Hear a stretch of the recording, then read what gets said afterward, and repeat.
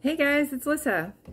Um, just wanted to come on to Table Time real quick and show you guys how easy it is to prep for today's meal. We are having chicken and dumplings and I've got a lot of different vegetables I'm going to put in it. You know, we're going to have the potatoes. I know, dumplings and potatoes, starch and starch, yeah, but it's comfort food and it's cold. So, you know, we're having, this is what we're having. So it's got potatoes and it's got carrots and it's got celery and so, and it's got onions. And so I'm going to prep it all using the Rapid Prep. If you haven't seen the Rapid Prep used, then you're going to see it today. Okay, so here we go. I'm getting ready to cook the vegetable, I mean getting ready to prep the vegetables.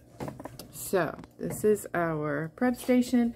I've already cut my potatoes into these slices. Okay, so here we go. Look, perfect. Here we go. Sorry. These are your slices of potato. Can you see that? These are perfect for this, you know, what we're doing. This application. And look how simple that is to slice. It just goes so easy and so quickly. All right, I'm going to put in some uh, celery stalks. I kind of cheated. I didn't, um, I didn't buy celery stalks. I actually bought veggies that were pre-cut because I was feeling tired and I didn't want to cut them myself. So, no, here we go. No, carrots are a little harder. Carrots are kind of like um, sweet potatoes. So sometimes carrots are a little bit more difficult, but they do make these perfect carrot shapes. And so I'm just as happy to have the carrots done like that. Um, and I didn't mind buying them. It costs a little bit more. It's a little bit pricey, but that's okay. We're. We're good. I can I can deal with that price. I was prepared. All right, so these are my vegetables, and my vegetables are ready to go into my um, stew pot. Actually, I'm using my quick cooker. But when we get to that point, well, you know what? Why don't we just get to that point? Okay, we'll just move all this aside. I've not cut the onion yet, so let me go get that.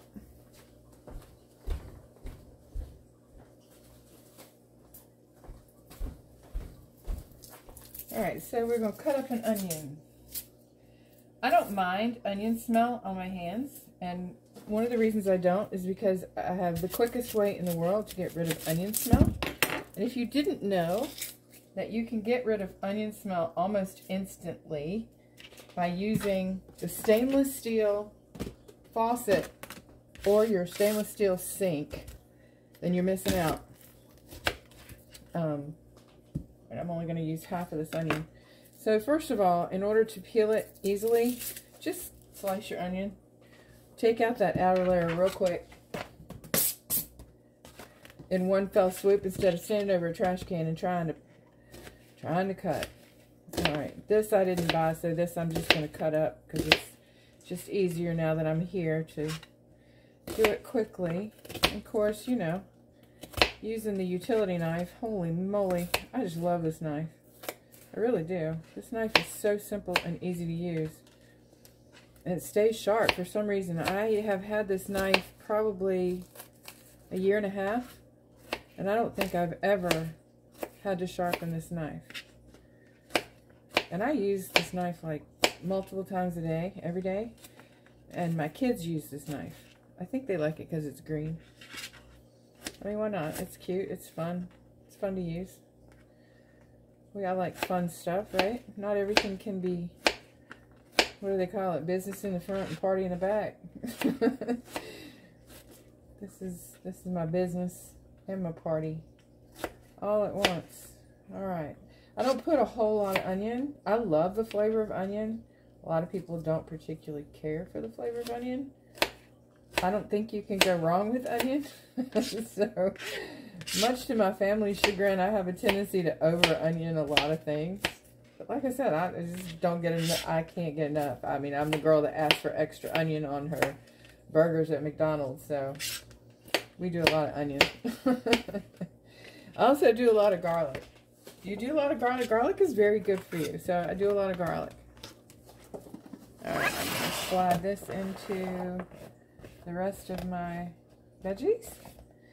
So I can just pop it all in at once. Okay, now we are using the quick cooker.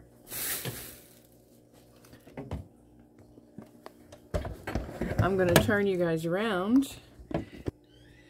Okay, everybody. Just had the beep a minute ago. I'm getting ready to finish releasing all the steam. Press the button. Look at all that. Can you see it? Let me try to... You see the steam? Woo. And do make sure that that is not in front of your cabinets because you don't want to ruin your cabinets by letting all that steam go up there. Now, see, look, I've let it go. The button is still somewhat depressed. It's going to go ahead and release steam like it needs to. This little red button that's over here, I don't know, let me see if I can show you the red button. All right, that red button is raised. Once the steam finishes releasing, that red button is going to go down and it'll drop. You'll see it drop and you'll hear it drop. That's when you know it's okay to take the lid off because this lid is not coming off. It is gasketed and it does lock in place. There's no physical lock. You don't have to push a button or anything like that to get it to unlock. It's that steam button that allows it to unlock. As long as that steam button is raised, this lid is not going to open. If you do open it, for some strange reason you get it open, you will not get it put back on with that steam button in the up position. I know that because I made a boo-boo once and the steam button was stuck up. So, just letting everybody know that's how it works. So we're going to go ahead and make sure that the rest of this releases quickly. Steam button is still up high. Still hearing the steam coming out.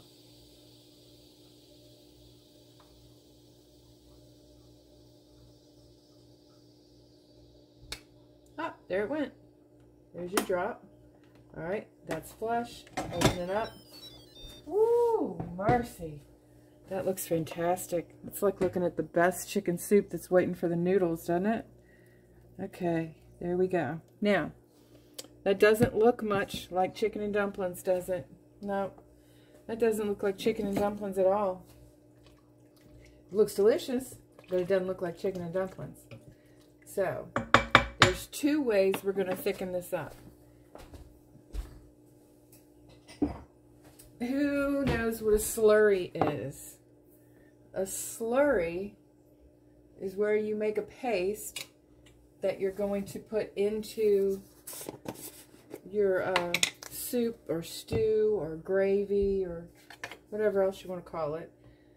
So what I'm going to do is take a little bit of this marvelous soup. Golly, the smell is phenomenal. And I'm going to add, that's probably a good two or three tablespoons of uh, the soup. So what I'm going to do is whisk this uh, cornstarch in it. And then I'm going to add it to the uh, chicken and dumplings. This is going to help thicken it up. I'm going to cancel this. And in a second, one of the things we're going to do, not only are we going to add this, um, but we're going to put it on sear. And we're going to add the dumplings. Now, I've got the cheesiest, quickest way to add dumplings to chicken and dumplings. Y'all are going to laugh. Okay, that's so perfect. Okay. Jumbo biscuits. It's a five pack. It's a baby. This is going to be our dumplings. Oh, but that's biscuits. How could that possibly be dumplings? Oh, but they are. Open your biscuits. There's my little slurry. All right, we open the biscuits. Remove one biscuit. Grab said kitchen scissors. Cut said biscuits into pieces. each biscuit will give me six dumplings. Make sure that you put them in there, not necessarily on top of one another. I do prefer using the flaky, I mean the buttermilk biscuits for this over flaky because when you use flaky biscuits, it tends to just kind of fall apart. They almost like disintegrate when you do that. So let's put, go ahead and put this on sear and starch. I hear the family coming in. They've been hanging out at the park, I believe. So. Okay, so here we go. Okay, Granny's filming. Can we keep it down a little? Okay. Look at this. This this is going to be fantastic. All right, two more biscuits. Okay, before that gets too full, I want to make sure that we add some of this slurry. So let's Put some of that in there. Stir it around.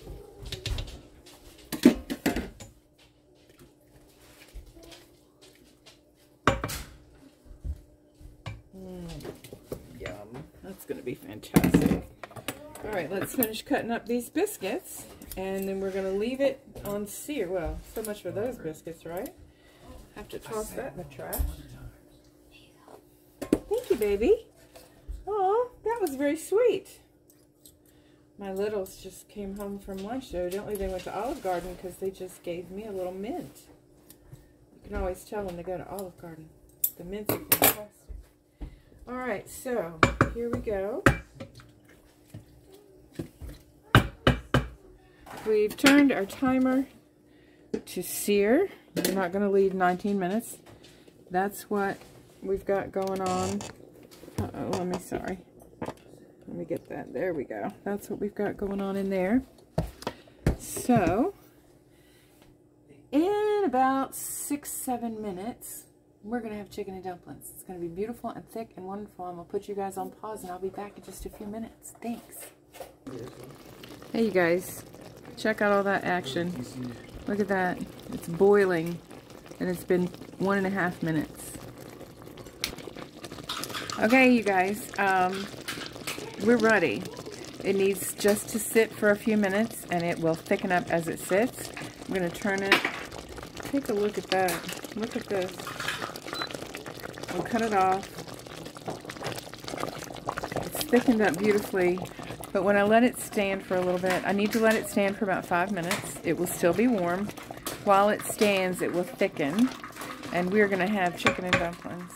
I can't wait to share with you guys. Okay, here it comes. I'll be back in five. Okay, it's all done. You ready? Here we go. Woo, look at this. Chicken and dumplings. That is fantastic. All right, so that's what we're having for dinner. What are you guys having for dinner? I hope it's delicious.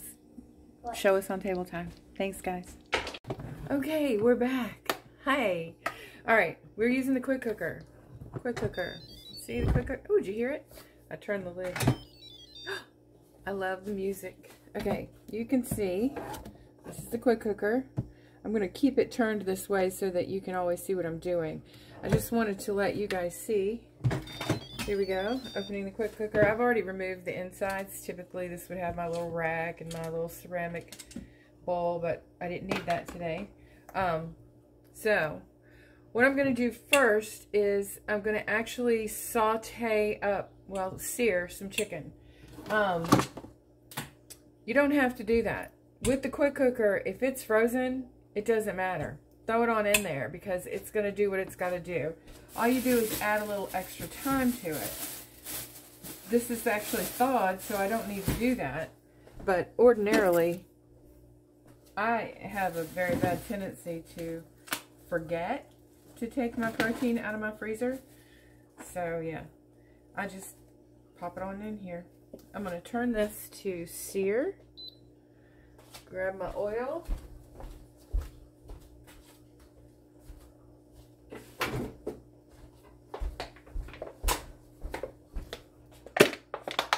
See, I live with a lot of boys, and they're all stronger than me. All right, I'm putting about three tablespoons of oil in there. That sounds like a lot of oil, but it's really not a lot of oil. Okay, this is turned to sear. I'm going to turn it on.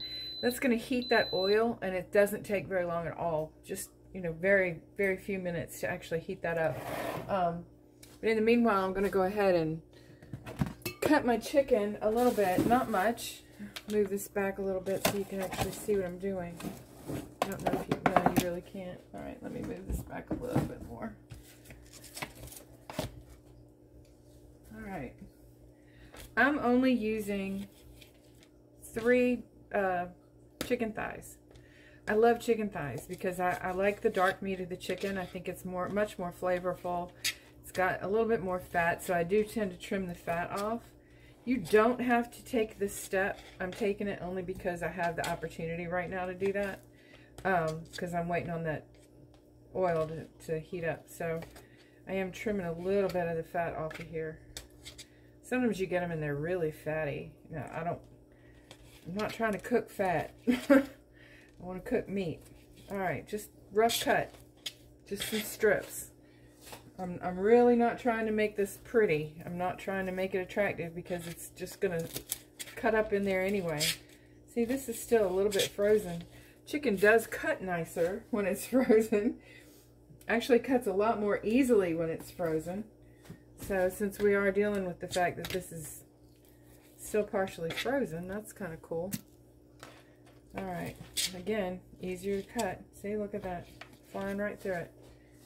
Alright, here's the last of the three. Like I said, I'm only using three chicken thighs. There's enough meat on these thighs for me to do what I need to do um, and provide a lot of chicken in the chicken and dumplings. So, see, this is this is heating. I can feel it. Do you guys have the bamboo set? I want you to notice this. Look how look how used this is. This is a bamboo spoon. It was one of the set of three. You can see the Pampered Chef. Can you see the Pampered Chef? It's in here. Um, this was one of the first items that I bought when I moved to Virginia and got invited to um, a home cooking party, a Pampered Chef cooking party with a friend of mine. We're still friends. Um, but I had all three of these in perfect condition until we house sat. I mean, we dog sat from one of my grand dogs. And as I was cooking dinner one night, the grand dog jumped up to the counter, grabbed my cutting board. I had beef chunks on it. I was making beef stroganoff. I had beef chunks up here. She grabbed my my cutting board with my beef chunks and two of my wooden, well, my bamboo utensils and destroyed it all in a matter of minutes. Like, I could not get close. The dog just destroyed it all. I was furious. Okay, so what I'm doing over here is, see, that didn't take long to heat up, did it? You can hear it. Can you hear it? That sizzle is going. And all I'm doing is just slightly browning this meat. Because what I really want to do is add all these veggies. Yes, even the potato. I'm going to add all these veggies to my, to my pot here. And I'm going to give all of this a little bit of a sear. Just start to cook it down a little bit. Obviously, I don't need to saute my vegetables, all right? It's not necessary to saute my vegetables because I'm cooking a soup, basically. Okay, here's another little interesting tidbit. If you do not have boxes of broth, that's okay. I have lots of bouillon. And truthfully, I prefer using bouillon cubes over using boxes of broth because I can get a more intense flavor using the bouillon cubes than I can um, broth. The reason for that is I'm going to put four cups of water in here, but I'm going to put five bouillon cubes. So essentially, I'm going to have four cups of broth with extra chicken. All right, so here we go.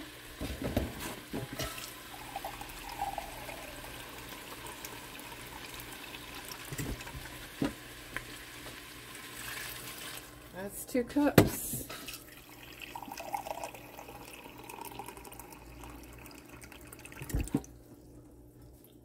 There's two more cups. Yum, yum, yum. All right. And I told you,